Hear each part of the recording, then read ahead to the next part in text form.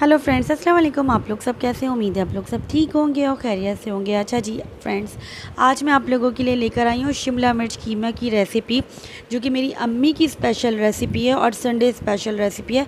आज चले रेसिपी की तरफ़ आते हैं और बहुत ही आसान और क्विक सी झटपट बनने वाली ये डिश है। अच्छा जी, यहाँ पे शिमला मिर्च को अच्छी तरीके से धो के वॉश कर लिया था। अब यहाँ पे ये मेरी अम्मी जो हैं वो इस तरीके से बनाती हैं, वही मैं रेसिपी आपको बता रही हूँ। या इन्होंने प्याज को फ्राई कर लिया था और टमाटर को प्याज फ्राई करने के साथ पीस लिया था तो ये इस तरह पेस्ट हो गया था। अब इसमें इन्होंने एक खाने का चम्मच लाल पिसी हुई मिर्च, आधे खाने का चम्मच पिसा हुआ धनिया, आधा खाने का चम्मच पिसी हुई हल्दी डाल दी थी, यही प्याज और टमाटर के पेस्ट में। अच्छा जी, यहाँ पे एक पैन में तेल लिया, उसमें ज़ीरा, कड़कड़ाया फ्राई किया आई मीन और जो ये प्याज और टमाटर का पेस्ट है, ये इसमें डाल के अच्छी तरीके से भुनाई करेंगी। अगर आप प्याज फ्राई करे बगैर कच्ची प्याज और टमाटर का पेस्ट बनाना चाहते हैं तो वो भी बना सकते हैं।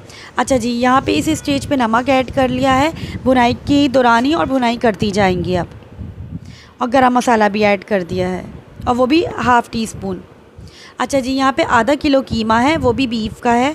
आप चिकन, मटन वगैरह का भी ले सकते हैं और सेम रेसिपी फॉलो कर सकते हैं। अच्छा जी, अब इसकी अच्छी तरीके से भुनाई करेंगी कि ये सब मसाले और कीमा एक जान हो जाए और इतना पकाएँगे कि तेल ऊपर आ जाए। अच्छा फ्रेंड्स, यहाँ पर कीमा सिक्सटी टू सेवेंटी परसेंट गल चुका है, इतना पकाया है इसको। अब इस स्टेज पे इसमें शिमला मिर्च कट करके डाल दी है।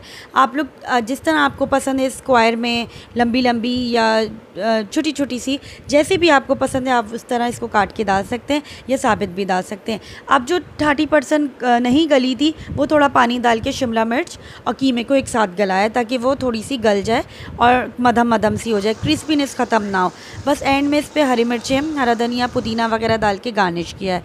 ये इतनी आसान और क्विक रेसिपी है। प्लीज़ मेरी रेसिपी को ज़रूर बताइएगा कि मेरी अम्मी की रेसिपी कैसी लगी। मेरे चैनल को लाइक, शेयर, सब्सक्राइब कर दीजिएगा। मेरी वीडियो को प्लीज़ फुल वॉच किया करें। अल्लाह